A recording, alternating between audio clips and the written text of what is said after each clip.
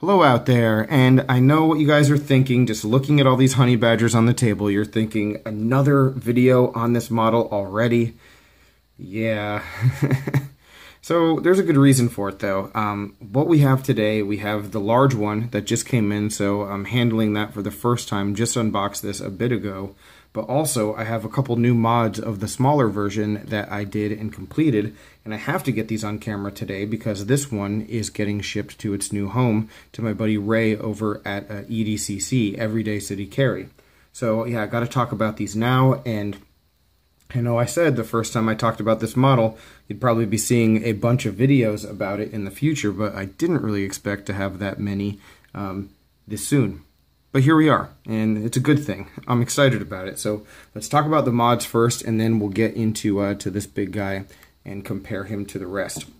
All right, but uh, the modifications for the smaller one uh, were just a lot of fun to do. This has just been a great knife to work on. You know, the medium-sized one, I did the acid etch on, and that was fine, and, and that worked out really well, and I, I like the color of the scales that I did. But these two has it's just been even better for me. I've had an absolute blast working on them. It's a really easy model to modify, which is uh, definitely a good thing. And there's just a lot that you can do, especially since we have beige scales that we can work with and, and get a lot of different color variety on those scales. So let's start with Ray's knife first. Um, this one, I, I dyed this navy blue and I tried to fade it into a green. And so if we can get this up close, you can see it starts dark and then starts to get a little bit lighter and then a light green to a dark green. And the transition here just wasn't perfect, but it still works out pretty well. So I'm happy with that. One thing that I really like about it is that the backspacer is green and then it goes to blue. So again, that has that transition, so that's pretty neat.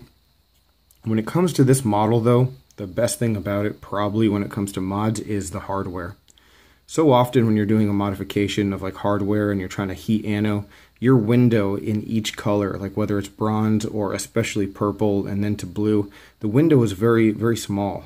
So you get that color and then you capture it as much as you can, and then it starts to go away very quickly onto the next color. And um, with this, there's just been a very nice window, a nice big window where I was able to get some good bronze and purple, like a little mix uh, on the hardware. So that worked out really nicely.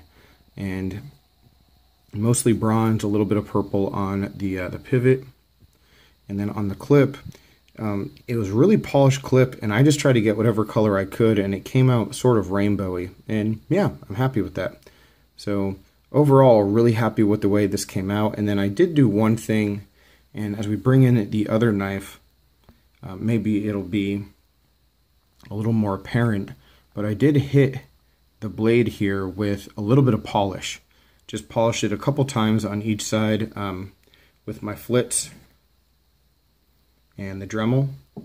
And one thing that I didn't say in the first video about the Honey Badger, but one thing that I just didn't love was the finish on the blade, and I wasn't sure if it was just mine or if it was going to be all of them. And yeah, the satin, just like the, the base satin um, not that it's a big deal because again, this is just a budget knife, but it's just a little bit foggy and not quite, it just doesn't pop the way that I would want it to. And so yeah, I hit it with the, the polish and it looks a whole lot more like what I would want it to. so that worked out really well. It gives it a little more classy look.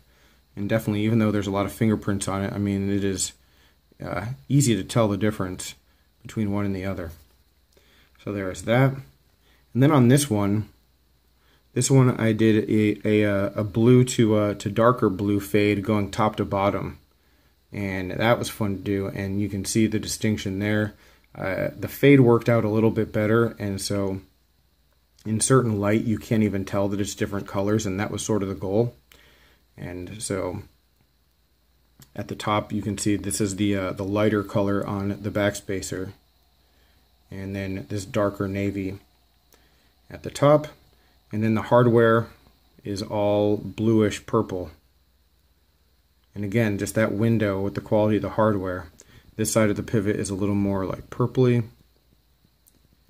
but came out really great. And then the clip again like this uh, this rainbowy pattern.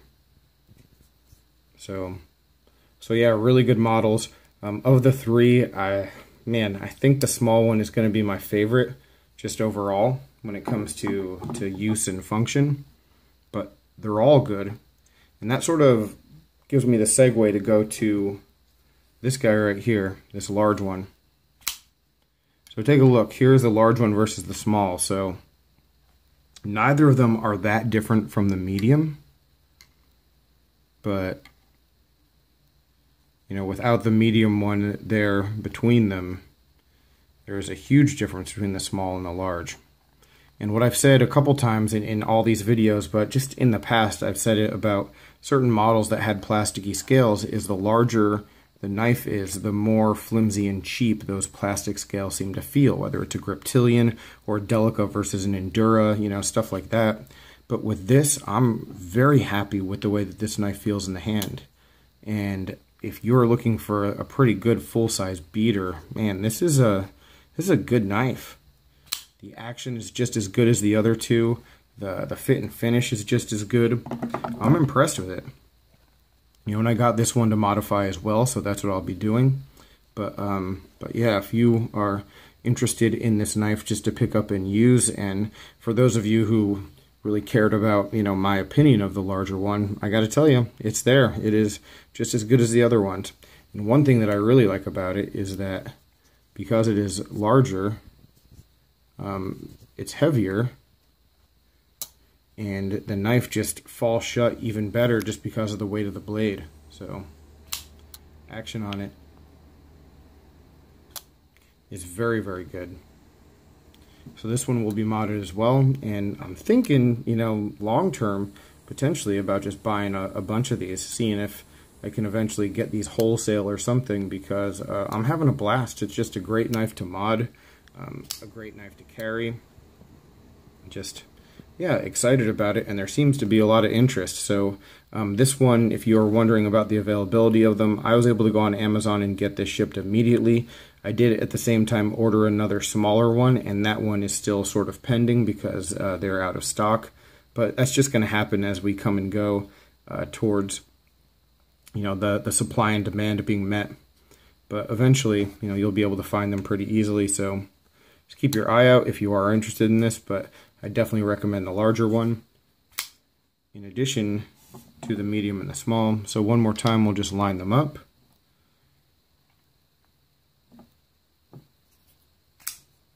And there we have it, guys. So which one out of these would be your favorite? Not necessarily the mods, just the size of the knife, but Mods too. Which one do you like the best? And any other questions, comments, complaints, suggestions, as always, let me know down below. I really appreciate it, guys. Look forward to it. Uh, Ray, hopefully you enjoyed this one, and I'll talk with you all soon. Take care.